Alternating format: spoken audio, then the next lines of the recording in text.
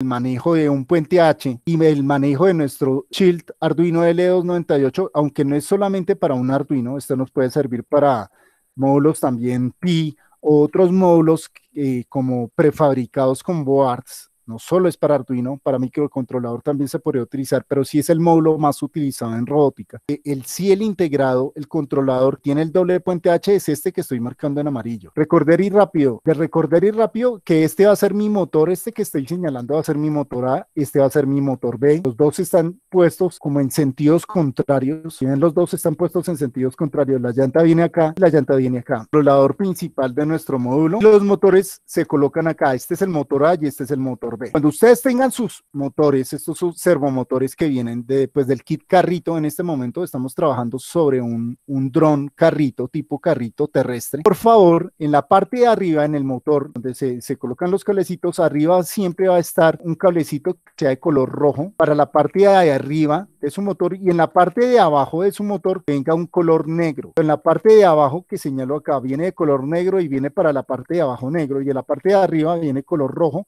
va para arriba. Esta L298D, y los motores requirieran más de 12 voltios, deberían estar quitando este jumper que estoy señalando, este jumpercito para desactivar el 7805, desactivarlo y no dañarlo. Como los motores que trabajamos para estos carritos son pequeños, necesitan voltajes pequeños y la corriente no es tan, tan alta, pues pueden ser alimentados con una fuente externa para nuestro caso particular, por eso estamos trabajando nuestros proyectos, la fuente de voltaje, pues alimentenla con la fuente de voltaje ATX que le están trabajando para hacer una fuente de voltaje laboratorio, métanle la fuente de voltaje ATX, conector ATX, el pin color amarillo, pin color amarillo lo vamos a colocar a esta partecita, a este punto. Y viene también de su fuente ATX, no solamente el pin amarillo, también hay que meterle el pin negro del conector ATX, que es quién?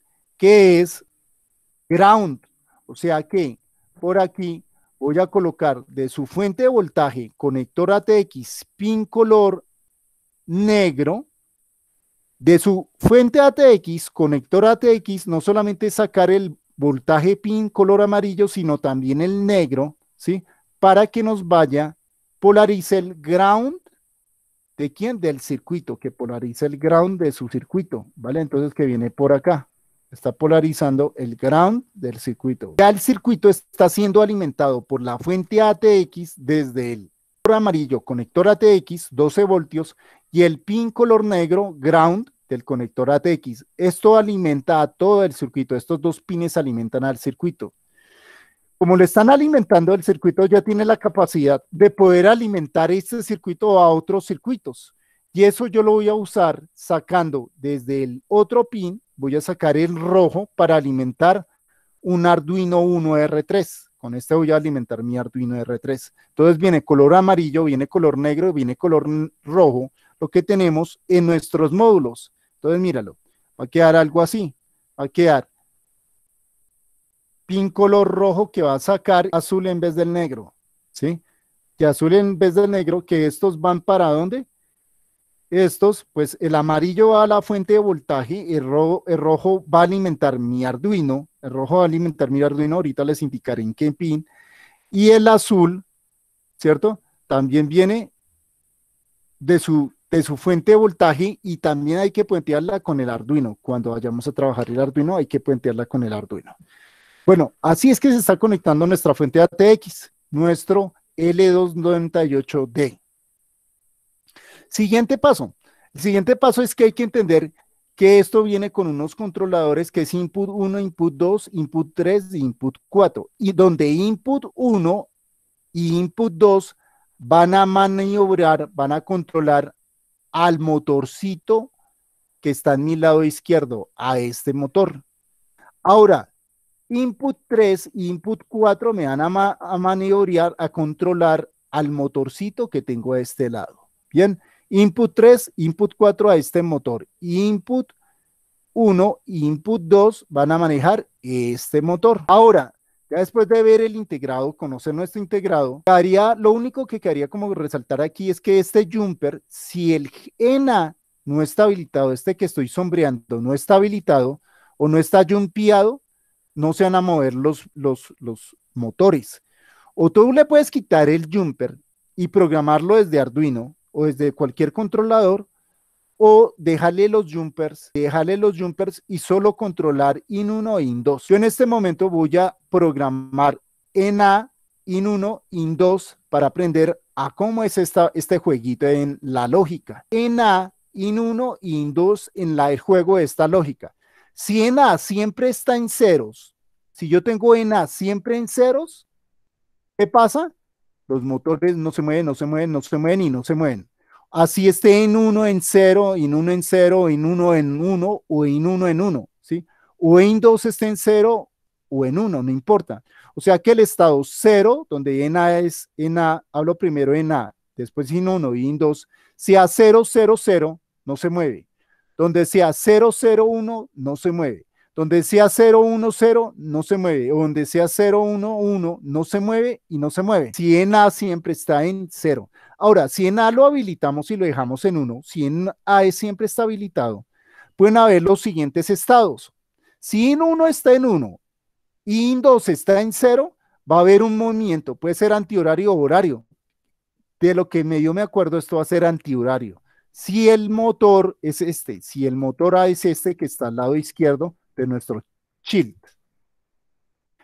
Ahora, si, es, si el que se cambia es sin 2 y queda en 1, pero en 1 en 0, el movimiento va a ser en sentido horario, ¿sí? Partiendo siempre de que este es el motor que estamos trabajando. Ahora, si los dos están en ceros, IN 1 y IN 2 están en ceros, así está habilitado en A, pues no, el motor va a estar quieto, parado el motor no se va a mover también. Entonces, el motor no se mueve, no se mueve. Este va a quedar el motor parado, no hay movimiento. Hay un estado en el que ustedes nunca lo pueden colocar y es el estado donde en A que en 1, IN 1 en, IN 1 en 1 y IN 2 en 1. No podemos utilizar este estado, no lo hagan. No puede estar en este estado porque quedaría como un corto, ¿sí? Podría haber un corto.